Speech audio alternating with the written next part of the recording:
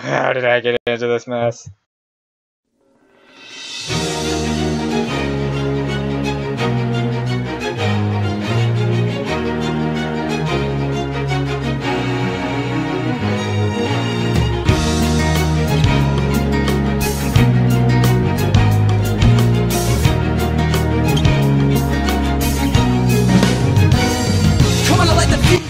You know that feeling you get when you're really excited for something only to get completely let down by it like a slap in the chest?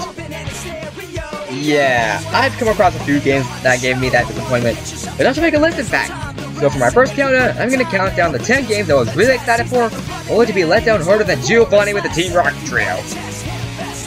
As always, standard rules apply, only one per franchise, and only games I actually play. Also, if you happen to like any of the games I put on here, please don't rant about it in the comment section. We have different opinions, and I don't need any petty hate filling up the comments on my videos. Lastly, I'm going to get really fightful in this video, so you'd best leave if you're easily offended or frightened. Enough said though, time to ignite my flames!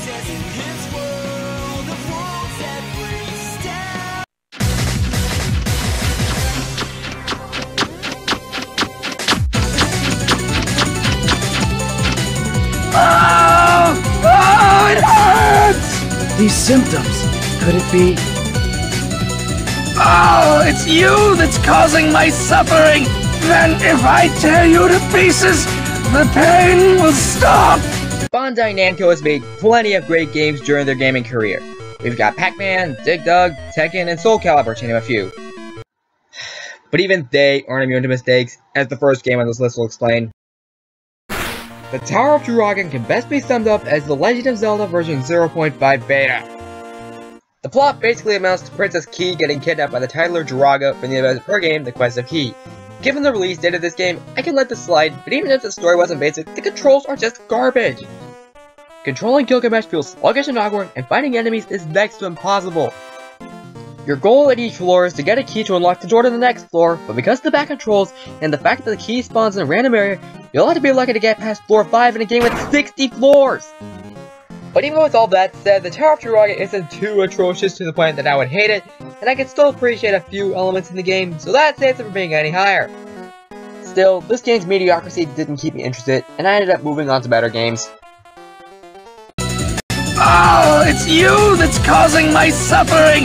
Then if I tear you to pieces, the pain will stop! PlayStation 1 is one of my favorite consoles of all time and one of my most nostalgic memories. I had plenty of fun with several games on this console, including Quest 7 and Tetris Plus. That being said, one PlayStation 1 game I did not have fun with is Frogger 2 Swampy's Revenge. I'm not a big fan of the Frogger series to begin with, but even then, this game was a huge letdown. For starters, the story, while not horrible, is still kind of basic. Long story short, some crocodile named Swampy raids some pond and kidnaps several baby frogs, and it's up Frogger and newcomer Lillie Frog to save all of them. Not bad, but still not good. However, one thing about Frogger 2 that is bad is the controls, because like Tower of Druaga, they're outright putrid. The controls feel stiff, clunky, and sometimes even unresponsive, costing the players hundreds upon hundreds of lives. Lastly, I need to give special mention to what the back of the box says. This is the best Frogger ever? No! You don't advertise games with the slogan best game ever! Like I said, I'm not into the Frogger series that much, and this game may be even less interested. Oh, it's you that's causing my suffering! Then if I tear you to pieces, the pain will stop! Candy Crush is a really popular game on the internet. While I personally wasn't interested in it even the slightest bit, in the early 10s, developer King struck a deal with Microsoft to install the game into any computers that upgraded to Windows 10, including mine. Taking into consideration how viral the game was, I decided to try it. And honestly, I wasn't seeing it. This is more of a personal pick for me. Okay, this is all personal, but who cares? But Candy Crush isn't my type of game. Its situation is the exact same as Frogger 2's for me. I wasn't interested in the series to begin with, and this game made me less interested. I wasn't really excited by the game's art style or humor, and the gameplay, while not horrible, is slightly limiting. You can only swap candy this game's game pieces with adjacent candies, and power-ups really aren't that necessary. But that's not the worst part. That would be how Candy Crush handle its microtransactions.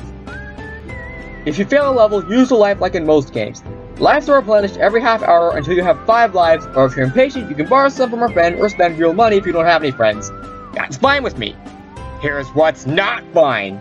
Alongside lives, you can also buy power-ups to make levels easier, However, the currency used to buy them also costs real money, and unlike lives, the only alternative, which is clearing certain levels, is limited, so if you've already cleared every level or are stuck on one, you can't make the level any easier unless you pay. How in the world is that fair? Oh wait, it isn't. I'm gonna need to see a dentist after this. Oh, it's you that's causing my suffering! Then if I tear you to pieces, the pain will stop! Ah, Skylanders, an overhated series accused of ruining a nostalgic Purple Dragon. While I will admit, I have never played a classic Spyro game in my life, I really enjoyed the first Skylanders game on the Nintendo Wii. I later learned that the game would also get ported to the Nintendo 3DS, so I decided to get that version as well. A decision I wholeheartedly regret. As overhated as the console Skylanders games are, the 3DS versions deserve every ounce of negative attention they get, and I'm also read about the first 3DS Skylanders game, Spyro's Adventure. First problem, the version that people look for in a game like Spyro is a great cast of characters. The console Skylanders games definitely delivered on that with memorable characters like Flynn and Hugo. On the other hand, the 3DS version has Hector the Land Floating Hand and 5 random guys who we had kidnapped. It didn't even include Kaos, the main villain of the series, and the whole reason why the Skylanders is a bunch of action figures to begin with. Seriously game! As for the story, I'm not even gonna bother with it since it's forgettable, stupid, and overall boring. At least the controls are at least decent, and in a few areas even better than the console version. But still, if you're interested in the Skylanders series, stick with the console games. Oh, it's you that's causing my suffering!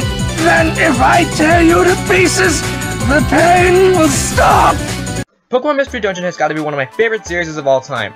I love every game in the series, even Gates to Infinity for what they all share in common.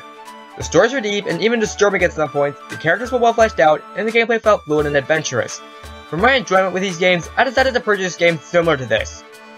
Unfortunately, one of these games would turn out to be the exact opposite of Mystery Dungeon.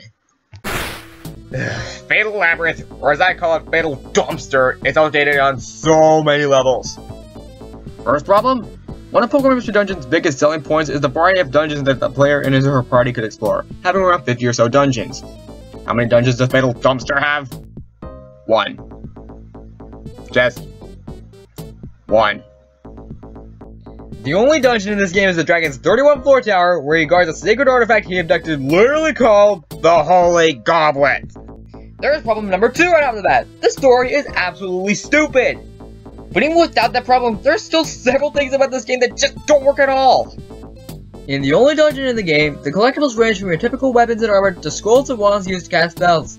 However, none of the weapons or spells in the game are any good, with some of them even being harmful, and if you end up dying, you end up having to start from the last floor that's multiple of 5. There's also a currency mechanic in this game, but there's nothing to buy, rendering it absolutely pointless with the only thing it affects being the game over screen. So, yeah, Fatal Dumpster is absolutely outdated, and it's not worth your time or money. Oh, it's you that's causing my suffering! Then if I tear you to pieces, the pain will stop! Hey, Fatal Dumpster isn't the only old geezer on here. I know some people are gonna hate this choice, but I'm pitting Smash 1 on the list.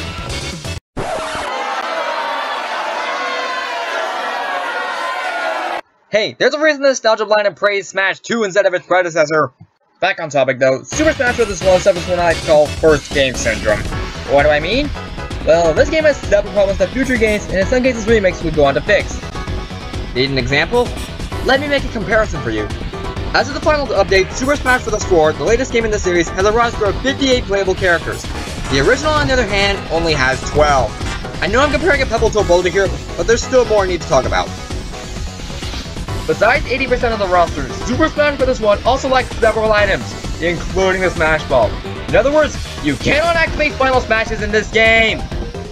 Honestly, when I got this game on the Wii's Virtual Console, I didn't feel satisfied with my purchase at all. Unlike Fatal Labyrinth, I wouldn't call Super Smash Bros. This 1 a bad game, but compared to the later games in the series, you really shouldn't waste your money on this one.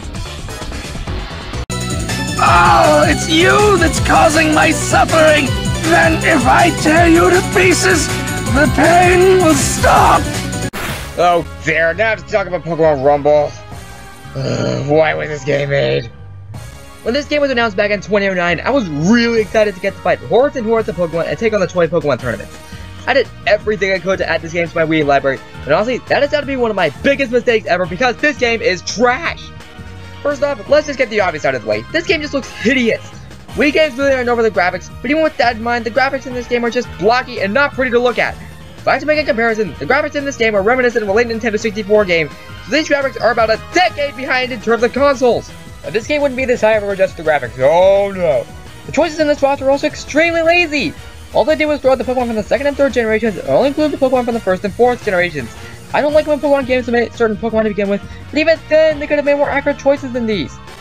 Thankfully, Pokemon Rumble Blast from the Nintendo 3DS fixed nearly every problem that the original had and left the real foundation for future installments in the series. This game, on the other hand, is better off Rumbles. Oh, it's you that's causing my suffering! Then if I tear you to pieces, the pain will stop!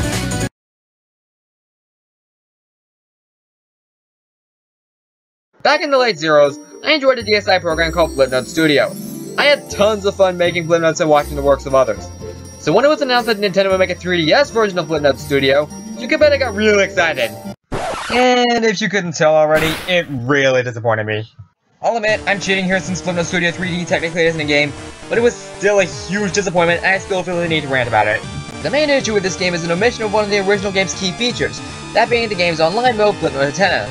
Flipnote Antenna let people share their Flipnotes with other viewers around the world. In Flipnote Studio 3D, there's no such thing. When the game was initially released in Japan, there was a similar feature, but it was taken down because some dirtbags posted inappropriate content on the servers. Honestly, that omission alone is what got this game this high, but even then, there were still a few nitpicks that I didn't appreciate. The new features felt slightly confusing to me, and the Flipnotes really didn't feel 3D. I don't know, I guess I grew out of it.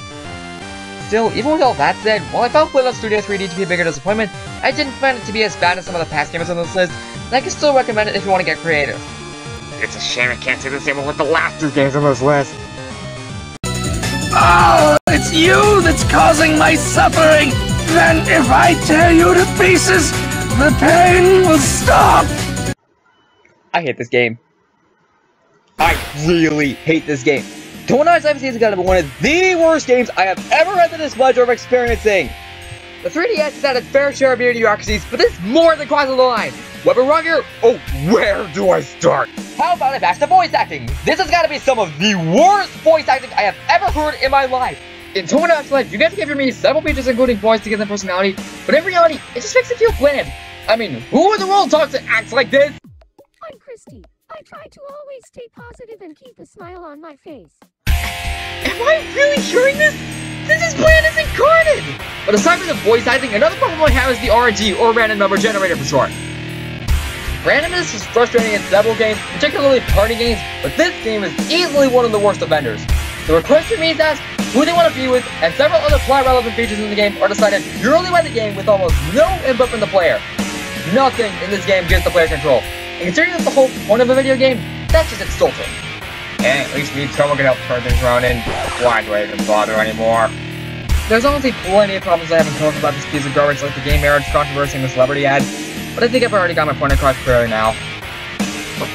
To be honest, I would much rather be playing this game and this game only for all eternity than even think about looking at the last entry ever again.